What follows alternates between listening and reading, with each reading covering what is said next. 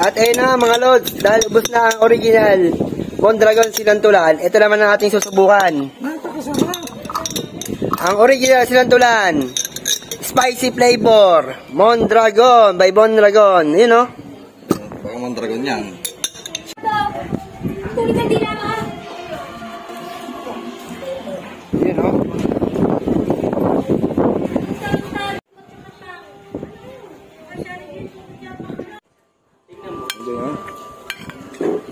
Mondragon, Sinantulan, original spicy flavor.